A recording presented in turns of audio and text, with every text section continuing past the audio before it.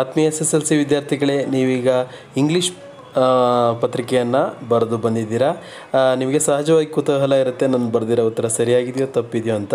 ಅದನ್ನು ಕ್ಲಿಯರ್ ಮಾಡೋದಕ್ಕೋಸ್ಕರ ನಾನು ಒಂದು ಇದು ಆನ್ಸರ್ ಕೀ ಆನ್ಸರ್ನ ಒಂದು ವಿಡಿಯೋ ಪುಟ್ಟ ವಿಡಿಯೋನ ಮಾಡಾಕಿದ್ದೀನಿ. ನೀವು ಇದನ್ನು ಜಸ್ಟ್ ಒಂದು ಸಿಕ್ಸ್ ಟು ಸೆವೆನ್ ಮಿನಿಟ್ಸಲ್ಲಿ ನೋಡಿಕೊಂಡ್ರೆ ನೀವು ಬರೆದಿರ್ತಕ್ಕಂಥ ಆನ್ಸರ್ ಸರಿ ಇದೆಯೋ ಇಲ್ಲೋ ಅಂತ ಗೊತ್ತಾಗುತ್ತೆ ಮಕ್ಕಳೇ. Let start I heartly welcome you all to at diary master class okay ಮಕ್ಕಳೇ, ಇದೀಗ ನಡೆದಂಥ ಪರೀಕ್ಷೆಯ ಇಂಗ್ಲೀಷ್ ಪ್ರಶ್ನೆ ಪತ್ರಿಕೆಯ ಕೀ ಆನ್ಸರನ್ನು ನಾನು ಹೇಳ್ತಾ ಇದ್ದೀನಿ. ನೋಡಿ, ಮೊದಲನೇ ಪ್ರಶ್ನೆಗೆ ಕ್ವಶನ್ ಟ್ಯಾಗಿಗೆ ಉತ್ತರ ಬಂದ್ಬಿಟ್ಟು ನಿಮಗೆ don't they B is the right answer ಎರಡನೇದಕ್ಕೆ ನಿಮಗೆ, ನೋಡಿ, ಇದು ಬಂದ್ಬಿಟ್ಟು ಲ್ಯಾಂಗ್ವೇಜ್ ಫಂಕ್ಷನ್ ಲ್ಯಾಂಗ್ವೇಜ್ ಫಂಕ್ಷನ್ ನಿಮಗೆ ಇದು ಇಫ್ ಯು ಡೋಂಟ್ ಮೈಂಡ್ ಕೂಡ ಯೂಸ್ ಯುವರ್ ಪೆನ್ ಅಂತ ಇದೆಯಲ್ಲ, ಇದು seeking permission so C is the right answer next third ಒನ್ಗೆ ನಿಮಗೆ ಇದು ವುಡ್ ಹ್ಯಾವ್ ಇದು ವುಡ್ ಹ್ಯಾವ್ ಆನ್ಸರ್ ಆಗುತ್ತೆ. ಹಾಗೆಯೇ ಫೋರ್ತ್ ಒನ್ಗೆ ಬನ್ನಿ. I have bought some books ಅಂತ ಇದೆಯಲ್ಲ, ಇದನ್ನು ನಾವು ಪ್ಯಾಸಿವ್ ವಯಸ್ಸಲ್ಲಿ ಬರೆದಾಗ D is the right answer ಅಂದರೆ some books have been bought by me ಅಂತ ಅದು ರೈಟ್ ಆನ್ಸರ್ ಬರೆದಿದ್ದೀರಿ ಅಂದ್ಕೊಂಡಿದ್ದೀನಿ ಸೆಕೆಂಡ್ ಪೇಜಿಗೆ ಹೋಗ್ತಾ ಇದ್ದೀನಿ ನೋಡಿ. ಎರಡನೇ ಅಂದರೆ ಫಿಫ್ತ್ ಪ್ರಶ್ನೆ ಇದೆಯಲ್ಲ, ಅದರಲ್ಲಿ ಕಲೋಕೇಟಿವ್ ವರ್ಡ್ ಬಂದ್ಬಿಟ್ಟು ಫಾಸ್ಟ್ ಫುಡ್ ಓಕೆ ಮಕ್ಕಳೇ fast food next two syllable word ಬಂದ್ಬಿಟ್ಟು combine next write the correct form of the word given in the bracket ಅದು ಬಂದ್ಬಿಟ್ಟು ಎಜುಕೇಷನ್ ಅಂತ ಬರಿಬೇಕಾಗುತ್ತೆ. Shyam is learning to play the sitar ಅಂತ ಬರಿಬೇಕು ಮಕ್ಕಳೇ ಇದು ಡೆಫಿನೆಟ್ ಆರ್ಟಿಕಲ್ ಓಕೆ ನೆಕ್ಸ್ಟ್ ಬಂದ್ಬಿಟ್ಟು eco friendly ಇದೆಯಲ್ಲ? ಇದು ಪಾರ್ಟ್ಸ್ ಆಫ್ ಸ್ಪೀಚ್ ಬಂದ್ಬಿಟ್ಟು ಅಡ್ಜೆಕ್ಟಿವ್ ಆಗುತ್ತೆ ಇದು.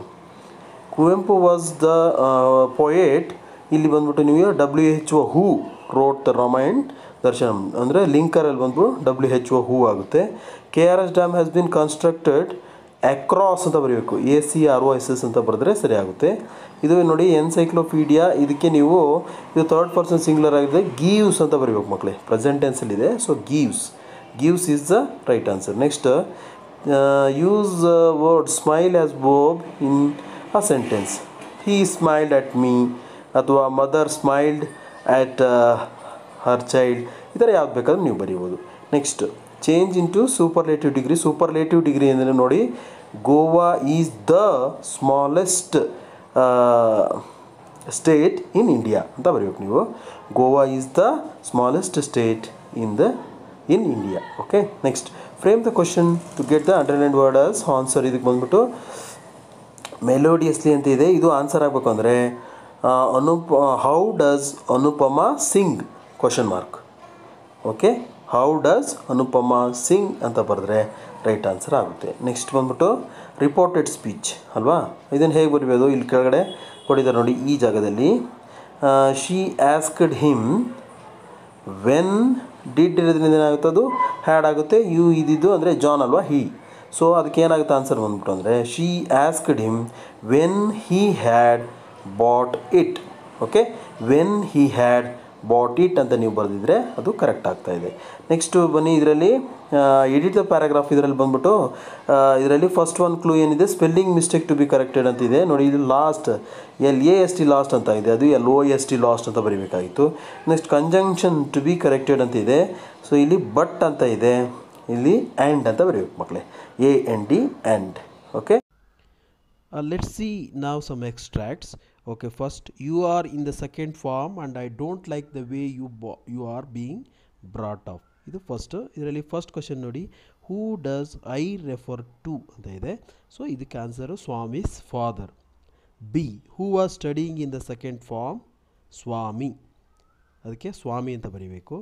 Third when did speaker say this ಇದನ್ನು ಯಾವಾಗ ಹೇಳಿದ್ದಾರೆ ಅಂತಂದರೆ when Swami slip beside granny in the passage then he said so okay twenty ಏಯ್ಟಿಗೆ ಬನ್ನಿ. The first man to move shall spend the rest of night in irons ಇದು ಬಂದ್ಬಿಟ್ಟು the discovery ಪಾಠದಲ್ಲಿದೆ. First question who said this ಇದು Columbus ಅಂತ ಬರೀಬೇಕು first ಕ್ವಶನ್ಗೆ second ಕ್ವಶನ್ಗೆ ಬಂದು what made the speaker say this ಅಂದರೆ ಯಾಕೆ ಹೇಳಿದ್ದಾರೆ ಅಂತ? all the seamen including Guillermo Irish rushed towards the cabin to kill Columbus then he's say so said so okay next what does in irons means in this context ಇಲ್ಲಿ irons ಬಂದರೆ ಇದರ ಅರ್ಥ ಏನು ಅಂತ ಜೈಲ್ ಇನ್ ದ ಶಿಪ್ ಅಂತ ಬರೀರಿ ಇದು jail ಅನ್ನೋದನ್ನು ತೋರಿಸುತ್ತೆ okay next if you want to get in life you have to read a lot you can learn a great deal of things just by reading ಇದು ಬಂದ್ಬಿಟ್ಟು ನಿಮಗೆ colours of ಸೈಲೆನ್ಸಿಂದ ಬಂದಿದೆ. Who is the speaker here ಇಲ್ಲಿ ಯಾರು ಅಂತ? Satish Gujral's father ಅಥವಾ Satish apostrophe s father okay Satish father next who does you refer to ಇದು Satish. Okay next how did the speaker encourage reading by giving ample books armful of books to Satish okay ಈ answer ಆಗುತ್ತೆ next they won't be any calendar there won't be any clock daylight will be on the switch and winter under lock okay ಇದು off to the outer space tomorrow morning poet ಪೊಯಮಿಂದ ತೆಗೆದುಕೊಂಡಿದ್ದಾರೆ. Who is the speaker here ಇಲ್ಲಿ poet Norman Nicholson. The poets ಎಸ್ತೀಸ್ ಅಂತ ಬರೆದ್ರು, ಆಗುತ್ತೆ.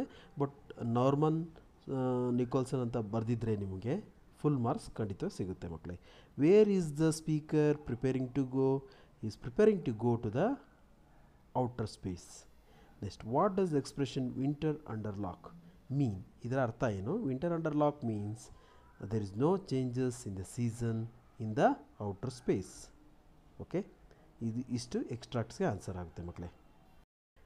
ಉಳಿದ ಪಾರ್ಟ್ನ ಆನ್ಸರನ್ನು ನಾನು ಇದರಲ್ಲಿ ಹೇಳಿಲ್ಲ, ತುಂಬ ಲೆಂತ್ ಆಗುತ್ತೆ ಅಂತ. ಇದನ್ನೆಲ್ಲ ನಿಮಗೆ ಗೊತ್ತಾಗುತ್ತೆ ಅಂದ್ಕೊಳ್ತೀನಿ ಮತ್ತು ಅದರದ್ದು ಅಗತ್ಯ ಕೂಡ ಇಲ್ಲ ಅಂದ್ಕೊಳ್ತಾ ಹವೆವರ್ ನೀವು ಹೇಗೆ ಬರೆದಿದ್ರು ಸಾಕಷ್ಟು ಚೆನ್ನಾಗಿ ಆಗಿರುತ್ತೆ. ತುಂಬ ಸುಲಭವಾಗಿದೆ ಪೇಪರ್ ಹೇಗೆ ಬರೆದಿದ್ರು ಅದ್ರ ಬಗ್ಗೆ ಹೆಚ್ಚು ಚಿಂತೆಯನ್ನು ಮಾಡಬೇಡಿ.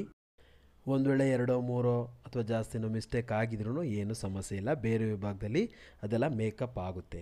ಹಾಗಾಗಿ ಇದ್ರ ಬಗ್ಗೆ ಚಿಂತೆ ಮಾಡ್ದೇ ನೀವು ಮುಂದಿನ ಸಬ್ಜೆಕ್ಟ್ ನಿಮಗೆ ಚೆನ್ನಾಗಿ ಅಭ್ಯಾಸ ಮಾಡ್ಕೊಳ್ಳಿ ಮಕ್ಕಳೇ okay I wish you all the best for the next papers okay thank you very much